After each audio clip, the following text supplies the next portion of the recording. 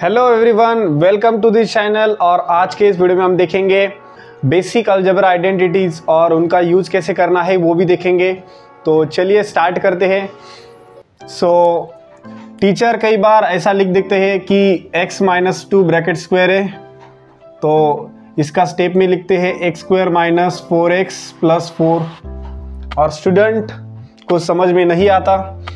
तो क्या होती है आइडेंटिटीज़ और कैसे उनका यूज़ होता है, वो सब इस वीडियो में देखेंगे। सबसे पहली आइडेंटिटी है a minus b bracket square, right? तो देखेंगे कैसी ओपन होती है ये आइडेंटिटी।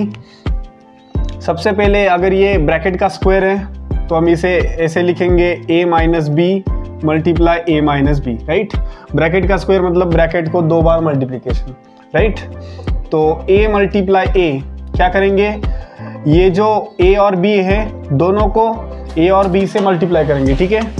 सो a को मल्टीप्लाई करेंगे a से तो ये हो जाएगा a का स्क्वायर राइट कुछ स्टूडेंट को ये भी स्टेप समझ में नहीं आती तो देखो क्या होता है, उसका रूल इंडाइसिस में एक रूल होता है, जो कि है a raise to m multiply a raise to n is equal to होता है a raise to m plus n right? उसी तरीके से देखो, यहाँ पे क्या है? ए मल्टीप्लाई ए यानी कि ए का पावर वन मल्टीप्लाई ए का पावर वन राइट? तो ये इसी के फॉर्म में है। तो इसे इस फॉर्म में लिखेंगे that is a raise to m plus n that is one plus one right?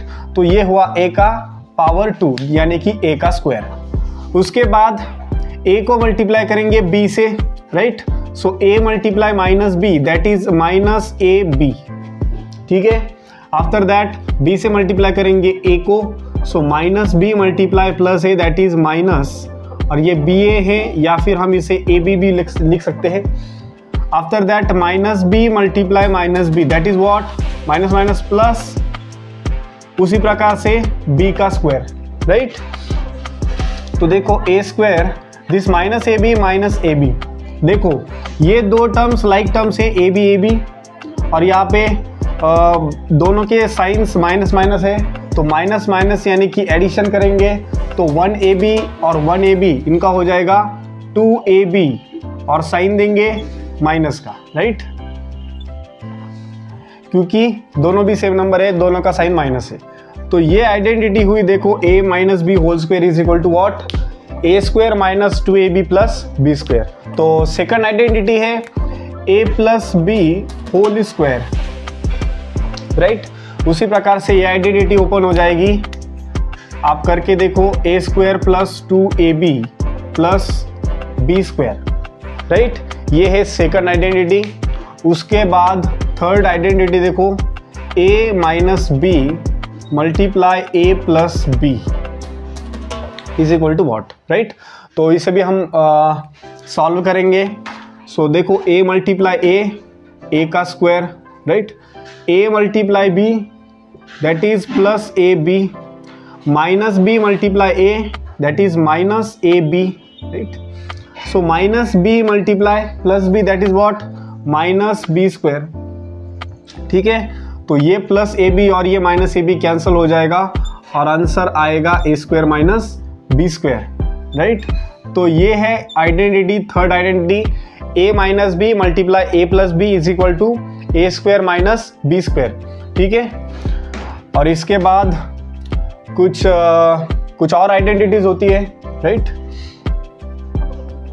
जैसे कि देखो a cube minus b cube is equal to so a cube minus b cube is equal to a minus b in second bracket a square plus a b plus b square right उसके बाद यही identity एक और तरीके से भी लिख सकते हैं राइट एक ही आइडेंटिटी दो फॉर्म में होती है, याद रखें। और इसी आइडेंटिटी को हम ऐसा भी लिख सकते लिख सकते हैं a minus b bracket cube plus three a b in bracket a minus b this is our fourth identity right इसी प्रकार से a cube plus b cube भी होता है। वो होता है a plus b in second bracket a square minus a b plus b square right और यही आइडेंटिटी दो तरीके से लिखते हैं। A plus b bracket cube minus three a b in bracket a plus b right और ये दोनों तरीके से आइडेंटिटी याद होनी चाहिए क्योंकि कई बार दोनों का भी यूज़ होता है। और इसके बाद हम देखेंगे आइडेंटिटी का यूज़ राइट आइडेंटिटी कैसे यूज़ करते हैं, देखो।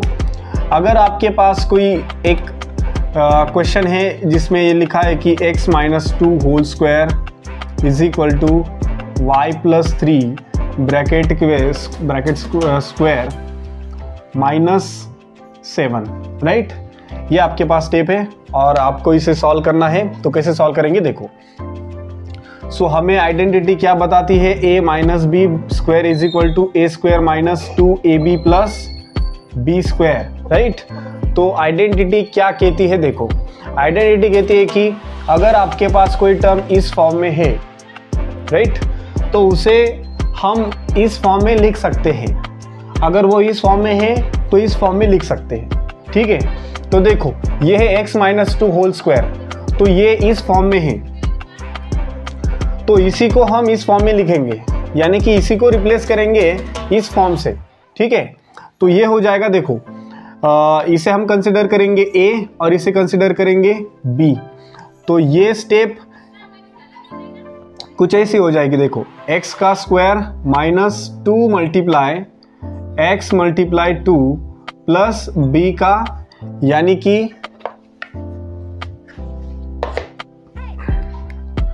टू का स्क्वायर इज़ इक्वल टू।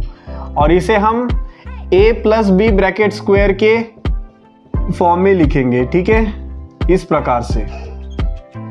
तो ये कैसा होगा देखो, y का square plus two into y into three plus three का स्क्वायर राइट और ये minus seven as it is तो ये फाइनल स्टेप ऐसी हो जाएगी x square minus two into two what four x plus four और ये हो जाएगा y square plus six y plus nine minus seven और इसे आप फर्दर सिंप्लीफिकेशन कर सकते हैं। और अब देखेंगे a square minus b square ये आइडेंटिटी का यूज़ ठीक है?